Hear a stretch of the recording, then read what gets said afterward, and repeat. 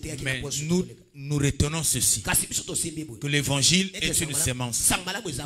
Et cette semence est esprit, parce que Dieu est esprit. Et le fruit qui, qui est produit par l'évangile sémé en nous, c'est l'amour.